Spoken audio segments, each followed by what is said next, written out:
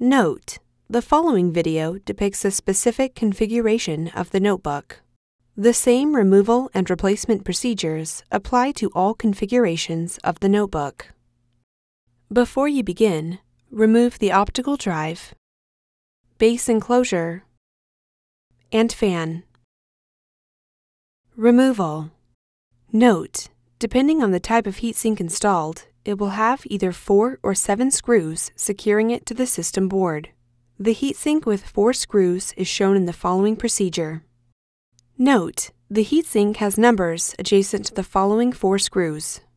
Remove the four 3mm P1 Phillips head screws that secure the heatsink over the primary processor in numerical order.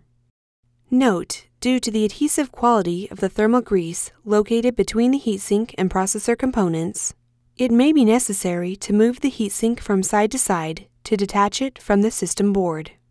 Remove the heatsink from the system board. Replacement Note, before replacing the heatsink, the thermal grease should be replaced.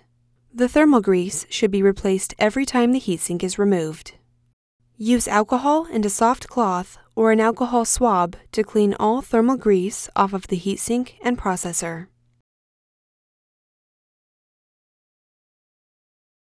Use the thermal grease applicator to apply the proper amount of thermal grease to the center of the primary processor core.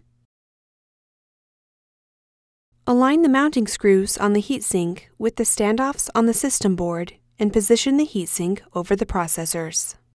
Replace the four 3mm P1 Phillips head screws that secure the heatsink assembly over the primary processor in numerical order.